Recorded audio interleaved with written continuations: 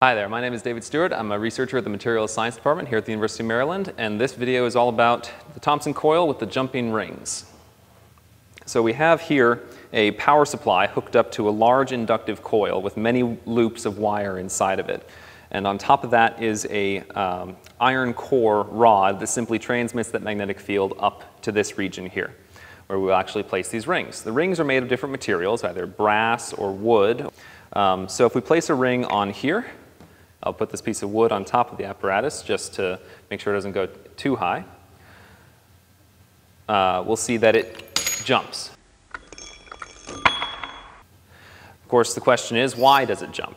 So we place a magnetic coil down here. That generates a magnetic field, uh, which wraps around this iron core up here. And that induces a magnetic field inside our rings.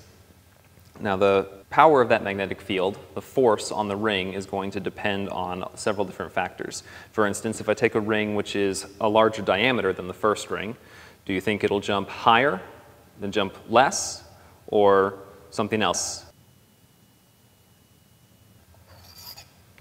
So going back to the first small ring, jumps pretty far, almost two-thirds of the way up this wooden rod.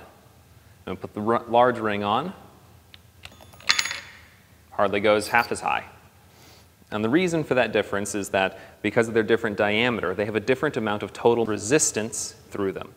So the ring with a smaller diameter has less resistance, and so it can establish a stronger current.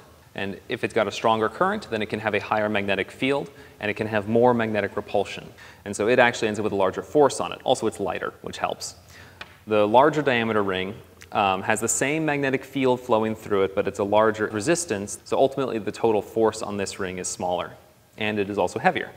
So if we take another, or that's these two rings. If we take another uh, kind of material, like wood, uh, wood is an insulator, uh, but it has roughly the same, we have a piece of wood here that has roughly the same diameter as our large ring. So what do we think happens then? We put the wood ring in here. Does it jump higher, lower, doesn't jump at all?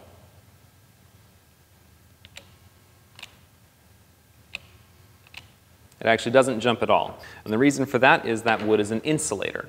That means although it has a certain area and a certain amount of magnetic field traveling through it, it cannot set up a counteracting current around it. So since no current can flow through the wooden ring, it can't generate a counteracting magnetic field, and there is no net magnetic force on the insulator.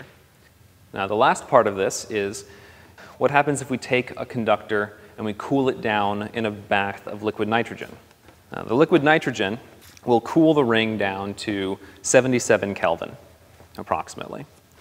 And once the ring gets down to 77 Kelvin, um, it will actually increase its conductivity.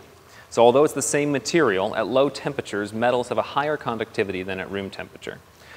So what do we think that'll do uh, to the height that it jumps to? If it has a higher conductivity, will it jump higher, lower, or not at all?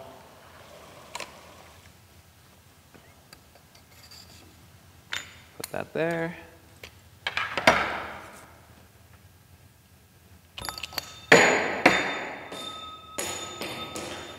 So that was the large diameter ring, which we saw before only jumped about this high up the rod. And in this case, it has jumped all the way off and rolled down the table. Now that's because the conductivity was increased, which means that the, uh, there is less resistance in the material, and so it can establish a stronger current. And if it's got a stronger current, then it can have a higher magnetic field, and it can have more magnetic repulsion between the ring and the coil underneath the, the apparatus. Thanks for watching.